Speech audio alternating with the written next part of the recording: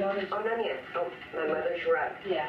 My mother had an old wood frame she laid across some chairs, and with some burlap crossing it, she hooked away her chairs, a rug she made with rags and such it was my understanding, and laid on the floor she did, proud as a chestnut gelding. And then one day she walked downtown to Nonia's she did go. They bought that they bought that rug and placed it in a window for to show. I problem ever finishing, really finishing that poem. And then I, after I went back and looked in Nonia's window after 38 years, I wrote a little addition to it. And I said, many, many years have passed since then.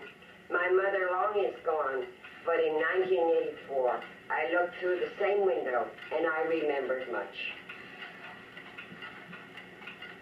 That's nice.